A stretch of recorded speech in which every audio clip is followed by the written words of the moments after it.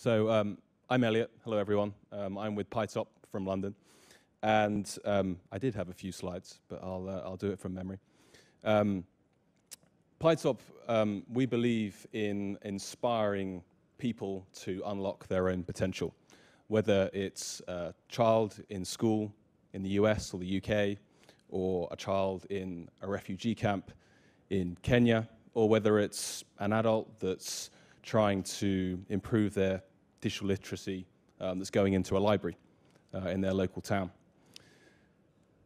We, on an individual level, um, kind of make it possible for people to actually start creating things, inventing things, getting hands on with technology so they can actually start to understand how it works. In a school environment, um, it's about trying to make STEAM education um, a phrase we keep on hearing more and more now, but trying to make STEAM education possible but also affordable in any school. So uh, what exactly is pi-top? pi-top is a luminous green modular laptop that you actually build yourself and is powered by something called the Raspberry Pi, which I saw earlier at the LIGO project. So to give you a proper introduction to what this product is, I need to tell you what a Raspberry Pi is. A Raspberry Pi is a credit card sized computer that costs only $35. Um, it's designed and made by a company in Cambridge in the UK, and they've now got 15 million of these all around the world. Um, this is a, oh, did it come up there? Oh, this is the website page. Um, and Raspberry Pi has been a really fantastically interesting project because one, it's affordable, um, so schools have been able to buy lots of them, but also it means you can actually get hands-on with coding, computer science, and technology. Um, and the Raspberry Pi is just beneath the laptop on the left-hand side of that page. So you can see it's got USB connectors, it's got Ethernet, it's got HDMI, but it's, it's just the board. Um, one of the great things about Raspberry Pi is it's formed this open community. So like many other organizations, pi-top decided to create something with that, and that's what we have with this bit of hardware. So it makes it incredibly easy to use your Raspberry Pi and to take it with you wherever you want to use it. We also have, that's laying down on that table there, a desktop version of the same product that's fully integrated um, and running on both of these products is our operating system, which is full of educational applications that make it easy for a teacher to deliver their computer science or STEAM lessons. As part of that, um, there's something called pi-top Coder, which has got about 100 hours of project-based learning projects, plans, things that help a teacher kind of get stuck into um, those kind of lessons. We're headquartered in London, so in the UK or in England, they made computer science mandatory in 2014, um, but they didn't really prepare teachers for this new curriculum. Um, so overnight, almost, they had to do computer science, and Ofsted was roaming the halls, you know, uh, checking out what they were doing. So we realized that we needed to try and help them. So pi-top Coder has 100 hours of those pre-built lesson plans to help them get started, and they're endorsed by the Oxford, Cambridge, and RSA exam body for teaching computer science. Um, is my time 30 seconds left? I can keep going. So that's kind of the, uh, the operating system as well, but um, my role at pi-top has been more on the commercial side with partnerships, so I'm not a teacher, but I do get to go into some schools and see workshops, and I spend a lot of time actually training our partners.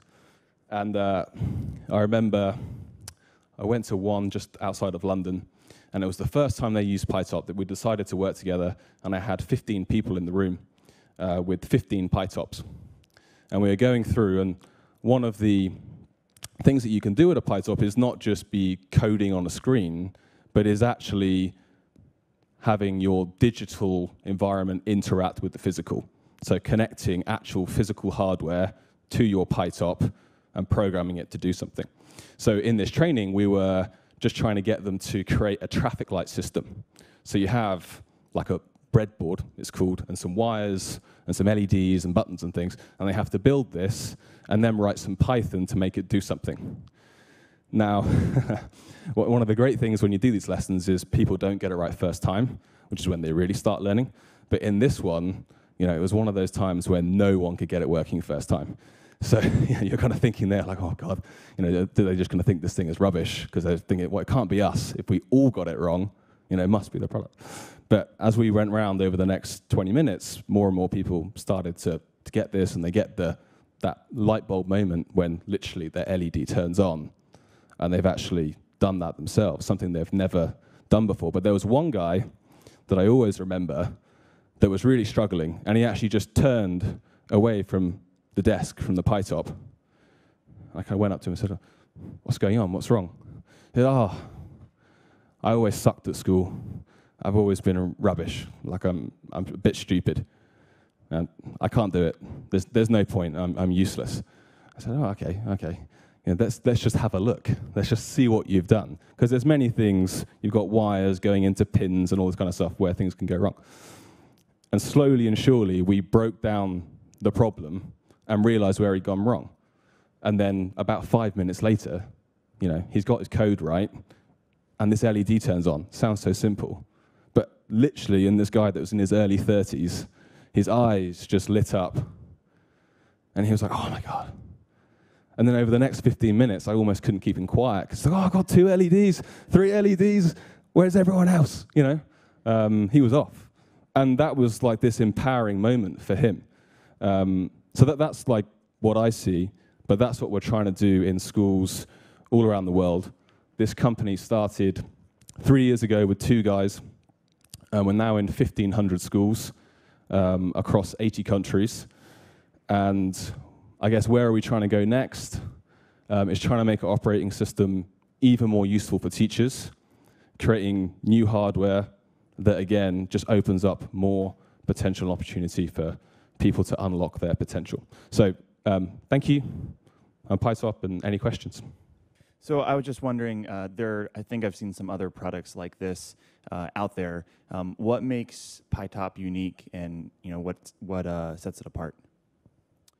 So um, I guess the there are lots of things out there which are aiming to help STEM and coding. Um, so I guess the really unique thing about pi-top is that it blends the digital with the physical. So I can actually write some code and see the impact that has on the real world in real time.